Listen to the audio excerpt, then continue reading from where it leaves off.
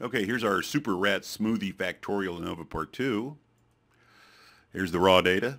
We're going to run an ANOVA, as you recall.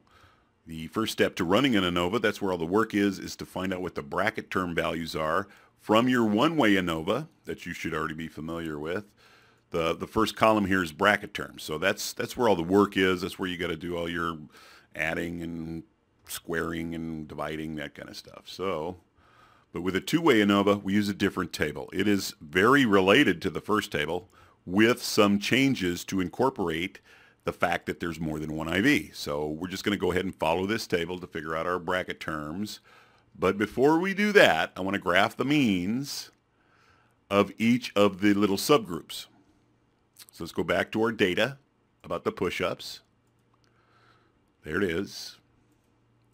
So we need the means of factor A, at all three levels. So there's level one, level two, level three. There, right there's A1 small smoothie, A1 large smoothie. And then there's the same for A2, right? That's the 10 milligrams, small and large. And the last one is 20 milligrams, small and large. So let's go ahead and figure out what the means are of each of these little columns. Remember, the mean is the king of statistics. That's why it wears a crown. so the average number of push-ups for the no milligrams small smoothie was 15 and all the way across. So I'm just taking this one at random, A2, B2. So that means they had, this group had 10 milligrams of the drug and the large smoothie, and that was their average. You can see the differences down here right off the bat, so you know they're going to be significant, but let's keep pushing on. So there's our means. We're going to go ahead and graph them. We need to graph all the levels of A. That's A1, A2, A3 at B1. So it's going to be a separate line. The next line is going to be all levels of A at B2. So it's, that's going to be a separate line. We're going to have two separate lines on a graph. So we put in our graph, try to make the, the scale here, the top number, whatever the largest uh, mean is up here, make it a little bit bigger so it'll fit and your y-axis is always going to be your DV, and in our case, it's going to be the number of rat push-ups. And then along the bottom here, the x-axis, this is where we're, we're going to put our different factor levels of the A. So this is the, the dosage of the drug down here. So A1, B1, A1, B2. So we're going to have two separate lines. So the red dot represents a1 at B1, right? That's 15.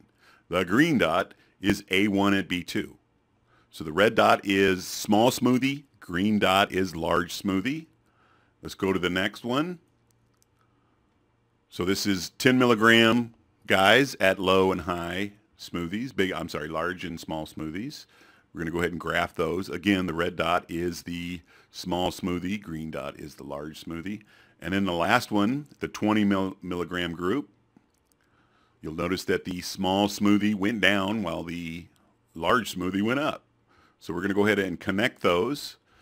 The red line represents what the small smoothie has been doing DV-wise across the three different levels of the serum. They started out stronger, but the more serum they got, the, the fewer push-ups they were doing you know, just just by the small smoothie group. And here's the large smoothie group, right? It, it went down first, but then after the second after the the third dose, the 20 milligrams, they went sky high. You'll notice that they cross. That's an important concept in this. That's why we're graphing them first. We have interaction between the IVs, right? Interaction. So if you graph these things and it and they cross, or they look like they're going to cross, if you extended it and it looked like they were going to cross, then, then you have interaction between your IVs. So now we're going to check the main effect of A. In other words, was there a significant change? Just the fact between they were getting 0, 10, or 20 milligrams. And how we do that is we take the average of A at each level of B, so right there's A1 going up and down. The average between 15 and 10 roughly is 12 and a half. We're going to do that at A2 and A3. Right? There's the average. And there's lastly, there's the average. And we're going to go ahead and connect those, make a line. And what this is telling us is that, yes, there is a main effect A because this is not a straight line. In other words, if this was a straight horizontal line across, that means there was no change, right? I can, you can kind of see that, yeah? So we do have a main effect A. Now let's see if there was any kind of effect strictly from the size of the smoothie, right? That's main effect B. What we're going to do is we're going to check the means of B1 at all levels of A and the means of B2 at all levels of A. And this one's a little bit different. It, it kind of can be kind of confusing. But here's the means of B1. Okay. So B1's the red line. The first mean is, right here, is 15. And the second one is, right, at A2 is around 13. And the last one down here is about 6. So we're going to take the average of B1, add them all together, divide by 3. We're going to get roughly 11.33. We're going to repeat the process with B2. Okay. So at A1, B2 is roughly 10. And at A2, it's roughly, I don't know, 4. And then the last one is way up there. It's real close to 20, right? So just with the B2, the green line, 10, 4, 20, we're going to add them all together. Divide by 3. What do you know? We get the exact same number. So what that means is since the means of B1 and the means of B2 are relatively the same, there is no main effect of B. In other words, the size of the smoothie didn't have much to do by themselves on how many push-ups these rats could do. So there's yes main effect A, no main effect B, and there is interaction because we saw the cross of the means.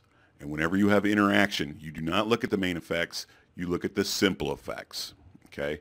That's the important thing, simple effects whenever you have interaction. And that's going to be the end of part two, so stay tuned for part three. MGZ out.